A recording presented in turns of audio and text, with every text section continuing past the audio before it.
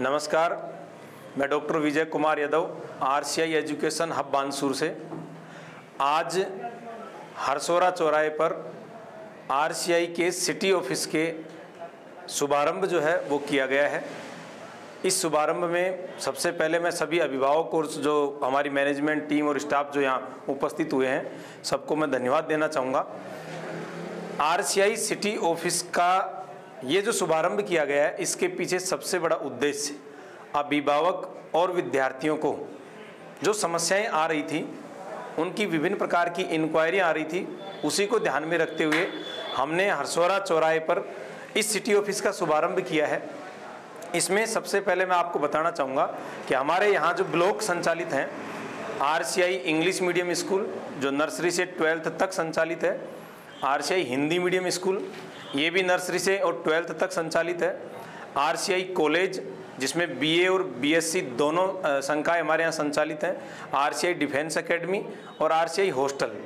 इन सबसे संबंधित किसी भी प्रकार की इंक्वायरी यदि किसी अभिभावक को करनी है तो वो हमारे सिटी ऑफ़िस पर भी आ सकते हैं। जैसे इंक्वायरी होती है, उसके बाद में विद्यार्थियों के प्रवेश होते हैं। प्रवेश होने के बाद में पूरे सत्र अभिभावकों को किसी प्रकार की कोई समस्याएँ नहीं आई विद्यार्थियों को समस्याएँ नहीं आई इसके लिए भी हमने सिटी ऑफ़िस का ये शुभारंभ किया है। विद्यार्थी और अभिभावक चाहे तो इस सिटी ऑफ़िस पर आकर भी उनसे संबंधित किसी भी प्रकार की इंक्वायरी हो या कोई भी जानकारी इनको लेनी हो, यहाँ तक कि यदि फ़ीस भी जमा करवानी हो तो वो इस सिटी ऑफ़िस तक पहुँच सकते हैं।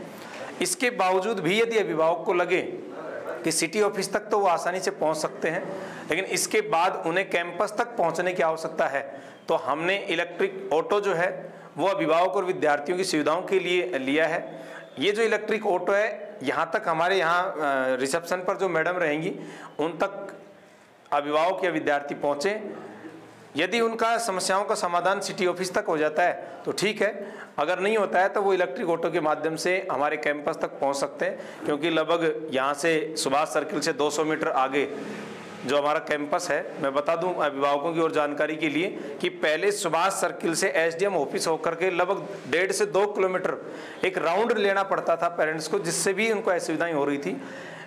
अभी वर्तमान में ही सुभाष सर्किल से मात्र 200 मीटर आगे कोटपुतली रोड से आरसीआई का मेन गेट वहीं पर रहेगा। तो उससे भी अभिभावकों को बहुत अधिक सुविधाएँ मिलेंगी, विद्यार्थियों को सुविधाएँ मिलेंगी और उसी के साथ में ये जो सिटी ऑफ़िस की है उससे और अधिक सुविधाएँ यहाँ मिलेंगी। इसके साथ में मैं बताना चाहूँगा कि आरसीआई कॉलेज, जैसा कि पहले मैंने बताया था, मेरी एक वीडियो आई थी कि आरसीआई स्कूल में लगभग एडमिशन्स जो हैं वो कंप्लीट हो चुके हैं। केवल दो एडमिशन्स जो है, दो प्रकार के एडमिशन्स अब हम शुरू करने जा रहे हैं। नंबर एक, आरसीआई की ओर से विद्यार्थियों के लिए कक्षा ग्यारहवीं से। फाउंडेशन की कक्षाएँ इंग्लिश मीडियम और हिंदी मीडियम दोनों में नीट आईआईटी और एनडीए के लिए हमने प्रारंभ कर दी हैं। उसके लिए 25 जुलाई को एक एंट्रेंस एग्ज़ाम रखा गया है, जिन विद्यार्थियों ने हमारे यहाँ प्रवेश ले लिया है।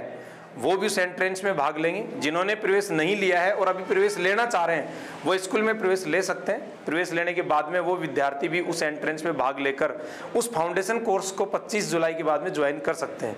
इसी के साथ कॉलेज और जो डिफेंस है, उसके एडमिशन सब प्रारंभ होंगे। वो बीए और बीएससी के एडमिशन कंप्लीट यहाँ इस सिटी ऑफ़िस पर भी आकर के उसकी पूरी जानकारी ले सकते हैं। मैं बता दूँ कि कॉलेज के विद्यार्थियों अर्थात लड़के और लड़कियों के लिए भी इस बार आरसीआई की ओर से वाहन सुविधाएँ मुख्य मार्गों से प्रारंभ कर दी गई है।